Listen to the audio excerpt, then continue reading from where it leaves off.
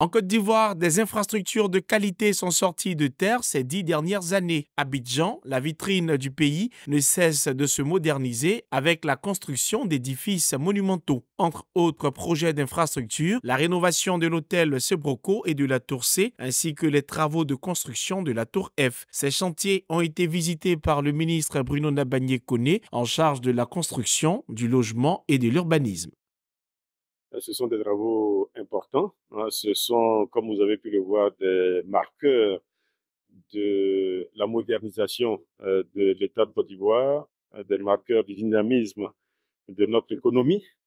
Et il nous appartient, à nous, en charge donc de la supervision de ces travaux, de nous assurer que tout se passe dans les meilleures conditions. Le niveau d'élévation à mi-parcours de la tour F fait 35 étages. Le gratte-ciel comptera 64 étages et viendra clore le vaste programme de modernisation de la cité administrative lancé à la fin des années 70 avec les tours A, B, C, D et E.